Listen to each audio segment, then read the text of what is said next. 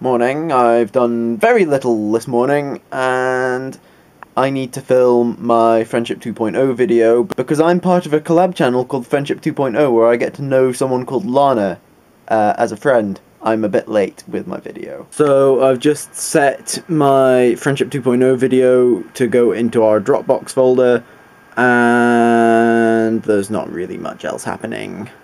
All I've got to do today is a driving lesson, so... oh, and sort of guinea pig stuff and things. Yeah. After I showered, I shaved, but in the middle of shaving, while I'd gotten all soaked up and everything, my grandpa came into the house, and it was, and I had to, like, do some stuff with him, and but I was in a towel and had shaving foam all over my face in the shape of a big bu- bushy beard. I should have practiced saying that, really. and it was just awkward as heck. I have really done nothing much else, to be honest. And yeah, got driving lesson in about 40 minutes or so, so time for my driving lesson. Had my driving lesson, did really, really well in the turning in the road, but need more practice at parallel parking, it seems. So I've just got to wait to get home now because he had another lesson and had to ask me if he could drop me off in Peterhead instead of just taking me home. So said it was okay.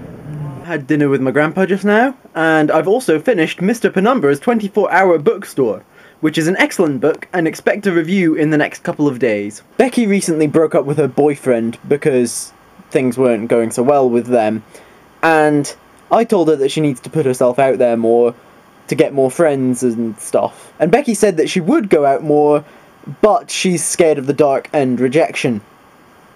I said it would be a good pickup line. I've just been listening to the episode of The Infinite Monkey Cage about oceans, and they're comparing going to the bottom of the ocean with going to other planets and going into space and climbing mountains. So that's the comment question for today. Which would you rather do? Go to the bottom of the deepest oceans and discover all sorts of new interesting things about our own planet, or go to a different planet but one with no oceans and with still relative complexity of life and everything, but just no like ocean areas, just like all land. Tell me in the comments below. I personally think I would go for another planet, but that's only because I don't like the feeling when I'm swimming and I look up at the water surface.